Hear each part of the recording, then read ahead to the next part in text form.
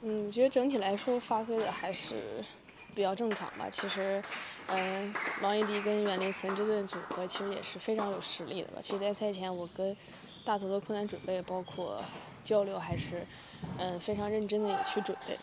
怎么看三比零这个比分？嗯，可能今天整场比赛双方来说，可能我们相对打的嗯流畅一些吧。可能在技战术环节，包括节奏方面，可能我们这边一直在。占先机多一些吧，所以整场比赛看起来还是相当的流畅吧，打的。嗯，现在已经是三战三胜，名列小组第一。怎么展望后面的比赛？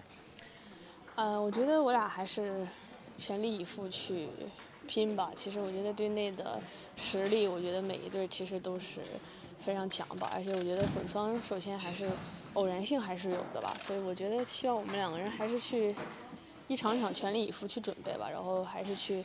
发挥出我们最好的水平，然后在场上还是多去沟通，然后信任对方。好嘞，好，谢谢珊珊。看你刚才跟王楚钦就是在那个技术休息的呃那个暂停的时候，也你俩彼此都有沟通，还挺频繁的，就是你大概在沟通什么？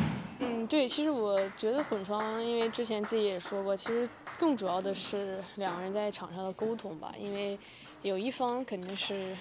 嗯，上风有一轮有一轮球是下风的，所以我觉得更彼此的还是互相能够帮彼此承担一些，嗯不舒服的球，或者说能够主动承担一些得分的球吧。所以我觉得，嗯，我俩在这方面我觉得还是比之前越来越好了吧。可能互相也配的越来越多，然后彼此的打法特点其实都还是非常了解的。所以我觉得，嗯，在赛场上，我觉得因为是我们俩在赛场上打吧，更多的可能沟通方面还是我们俩要去主观的多一些。好，好，谢谢。嗯。